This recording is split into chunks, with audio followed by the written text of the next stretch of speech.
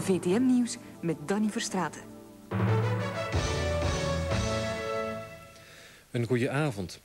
Het is nu officieel bevestigd. Patrick Hamers is door een telefooncel in de cel beland. Zoals we trouwens, trouwens zaterdag na zijn arrestatie al gemeld hadden. Hij bleek zijn telefoongesprekken naar België altijd vanuit dezelfde cel te voeren en dat deed hem de das om. Hamers is vandaag verhoord door de Braziliaanse politie, bijgestaan door twee Belgische speurders. Eerder had hij al verklaard dat hij een van de ontvoerders is van VDB en dat hij gewapende overvallen gepleegd heeft in ons land. Naar Braziliaanse gewoonte mocht de pers met de drie arrestanten, Hamers, zijn vrouw Denise Tiak en Axel Zijen, vrijuit praten. Een verrassend beeld. Het gevangen trio Patrick Hamers, zijn vrouw Denise Tiak en zijn compaan Axel Zijen poseren uitgebreid voor de Braziliaanse pers. Ontspannen, lachend, sans gêne. Hamers zelf demonstreert zijn reputatie van knappe, pocherige lefgozer. Het wordt nog onwezenlijker als hij een heuse persconferentie weggeeft. Met genoegen beantwoordt Patrick Hamers de argeloze vragen van Braziliaanse journalisten. Qual foi a razão do sequestro? A razão do sequestro, dinheiro. Nenhuma conotação política? Ninguém. Nenhuma colocação política. Tem mais pessoas que fazem parte do seu grupo? Sim. Estão aqui no Brasil? Não agora. Qual o grupo que vocês fazem parte? Não é implicado com ações terroristas? Não, eu não faço uh, parte de ninguém grupo política, terrorista ou, ou outro. Qual o Sou independente. E qual o objetivo do sequestro, então? Hã? Qual o objetivo do sequestro? Que é... Dinheiro. Ah, le dinheiro. São Nada a ver com política. conta dinheiro ou conta de motivo? Vocês passam muita dificuldade na Bélgica? Hã? Vocês passavam muita dificuldade na Bélgica? Não entendo. Quantas pessoas, quantas pessoas são ao todo do grupo? Hã? Quantas pessoas ao todo? Não pode falar desta coisa.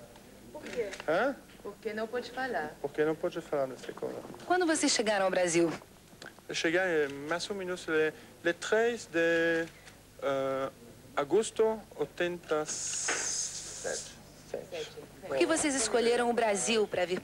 Hã? Por que vocês escolheram vir para o Brasil? Porque uh, há muito tempo que me quero de, de conhecer o Brasil. Essa é uma boa ocasião. Vocês trouxeram todo o dinheiro para cá? Hã? Vocês trouxeram todo o dinheiro para cá? Não, não, não em cash. Tem banco e outro lugar onde fica o dinheiro. Hamers zegt dus dat hij sinds 13 augustus 87 vooral in Brazilië zit. Dat is dus sinds zijn spectaculaire bevrijding uit een celwagen in Heverlee-Leuven. Geregeld kwam hij dan naar hier, onder meer voor bloedige overvallen en voor de ontvoering van VDB. Bij hun arrestatie waren Hamers en Zijen in het bezit van vliegtuigtickets voor het traject Nice, Madrid, Rio en terug. Hamers gebruikte daarvoor de valse naam Alain Goffin. In Rio hebben de speurders overigens een heel arsenaal valse identiteitsbewijzen ontdekt van Hamers, zijn vrouw Denise Tiak en Axel Zijen. Ze hadden foto's met allerlei vermommingen. De documenten werden vakkundig met stempels aangemaakt. De woordvoerder van de federale politie in Brazilië zegt dat de Leuvense BOB Patrick Hamers op het spoor is gekomen toen hij vanuit Rio telefoontjes deed met zijn familie in Brussel. Twee Leuvense BOB'ers hebben nu samen met hun Braziliaanse collega's dit trio gevat.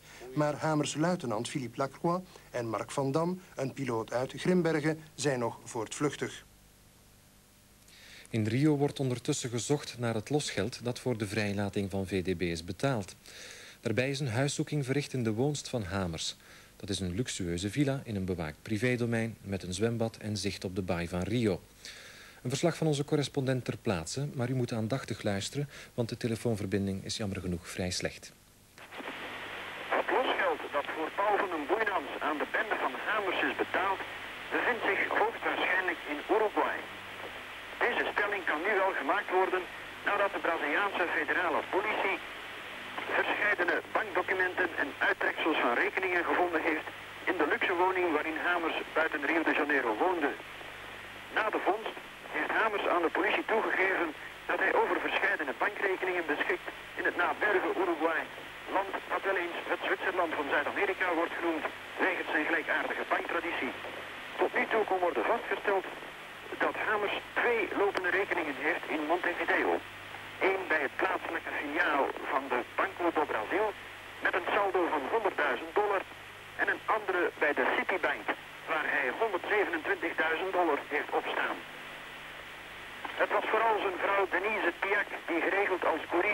Het was vooral zijn vrouw Denise Piak die geregeld als koerier naar Uruguay deponeren of afhalen. Zij gebruikte daarvoor verschillende valse paspoorten en reisdocumenten.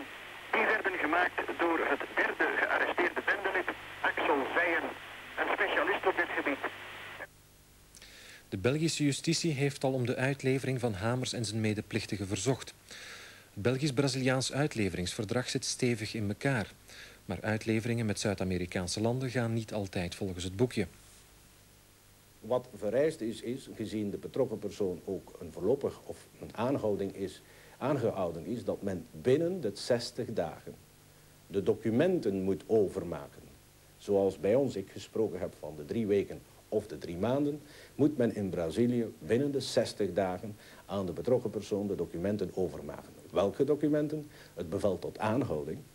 En daarin moet zeer uitvoerig en zeer duidelijk omschreven zijn de feiten waarvan men de betrokkenen verdenkt, de, aan, de reeds aanwijzingen van schuld die eventueel reeds zouden voorhanden zijn, evenals de duidelijke bepaling van de wetsartikelen waarop de betrokken feiten, waarmee de betrokken feiten dus strafbaar gesteld zijn. Zoals de meeste landen levert Brazilië geen eigen onderdanen uit. De Britse treinrover Ronald Biggs wist dat en huwde een Braziliaanse om haar nationaliteit te verkrijgen. David Hildesheim, die in 1976 naar Brazilië vluchtte na de ontvoering van Johanna Berbers uit Sint-Pieterswoluwe, greep die kans niet en werd aan ons land uitgeleverd. De vraag is nu of het uitleveringsverdrag aan Hamers en consorten een uitweg biedt. In het artikel 9, als ik het goed voor heb, dat zelfs indien de uitlevering toegestaan wordt, dat ze kan verdaagd worden omwille van ziekte. Maar toch blijft Zuid-Amerika het geliefde vluchtoord voor heel wat zware jongens. Waarom? Denk dat het meer is het politiek klimaat die ze waarschijnlijk zal aantrekken, waar men hoopt dat de verdragsregels wellicht niet zo rigoureus zullen toegepast worden. Tot, tot zover de zaak Hamers beter. President Bush stelt voor een vijfde van de Amerikaanse troepen in Europa weer naar huis te sturen. Hij deed dat voorstel op de negende NAVO-top in Everen. De westerse bondgenoten hebben positief gereageerd op het voorstel. De 16 staatshoofden en regeringsleiders stemden vanochtend al vroeg in met een voorstel van secretaris-generaal Werner om de dag niet te laten overschaduwen door de netelige kwestie van de kernraketten met korte rijkwijde. Deze top moet de bekroning worden van 40 jaar succesvolle verdediging van de democratie. Geen vertoon van oneenigheid over de Oost-West-strategie. De rakettenkwestie werd bij gevolg onmiddellijk naar een werkgroep verwezen. De ministers van Buitenlandse Zaken zijn op dit ogenblik nog aan het uitzoeken of er wel een gemeenschappelijk standpunt te formuleren valt.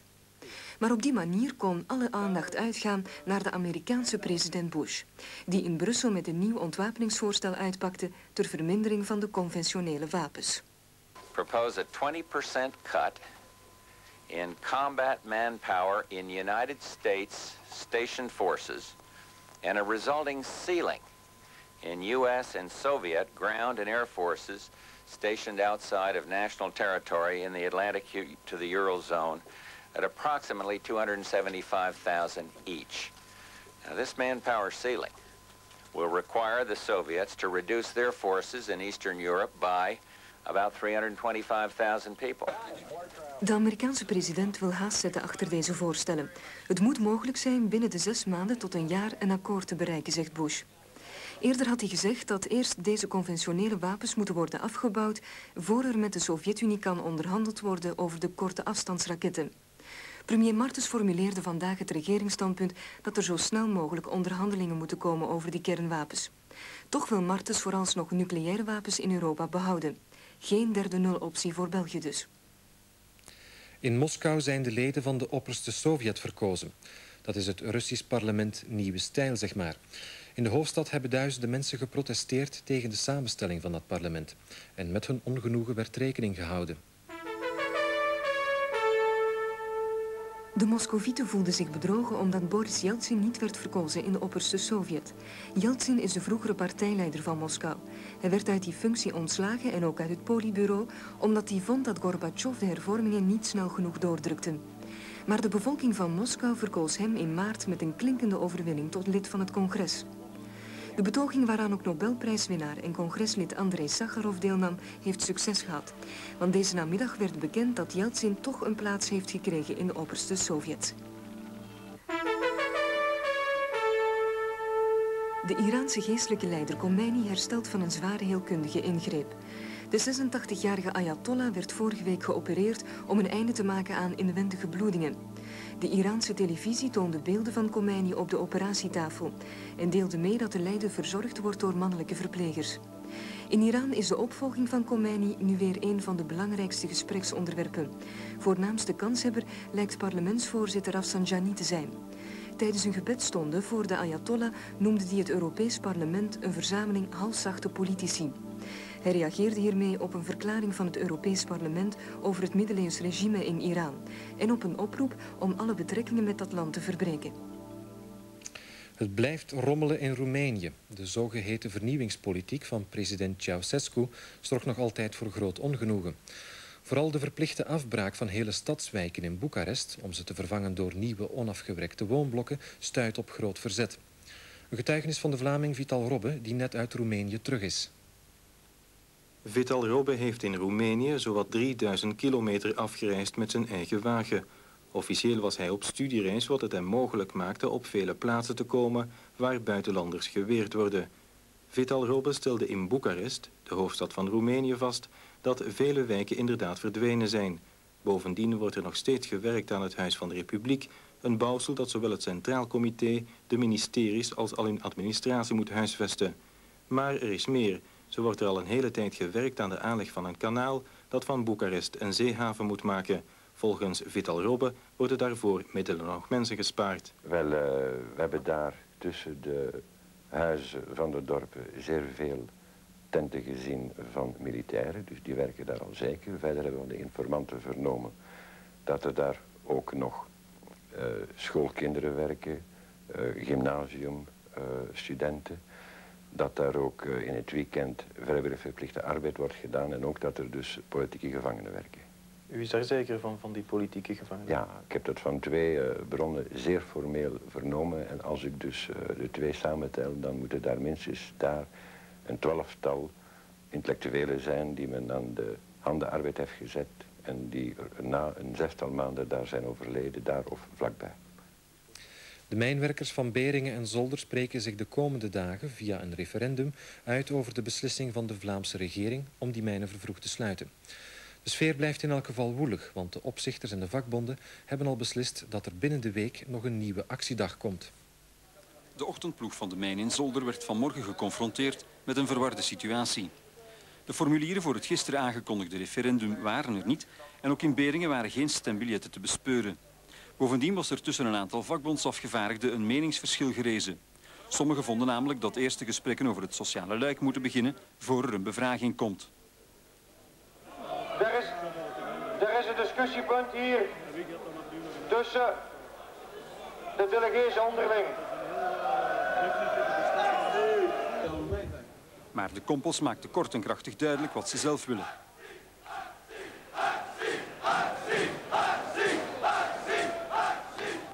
Daarna werden de fotografen en cameraploegen door de directie buiten gezet en daalden de kompels toch af.